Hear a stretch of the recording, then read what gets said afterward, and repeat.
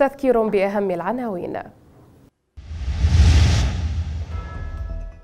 محافظ صلاح الدين يطرح خارطة المشاريع الخدمية في الاجتماع الدوري لمجلس صندوق إعمار المناطق المتضررة.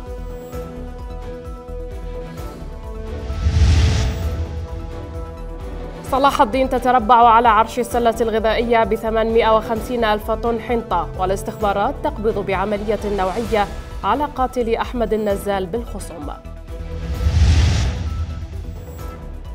التنسيقي الشيعي يتبرأ من الهجوم بالطائرات على احتجاجات التيار الصدري وتحديد العشرين من تشرين أول المقبل موعدا لانتخابات كردستان. في اليوم العالمي للمخدرات القبض على 38 ألفا من التجار والبرلمان ينفي فتح مقرات لحماس في العراق.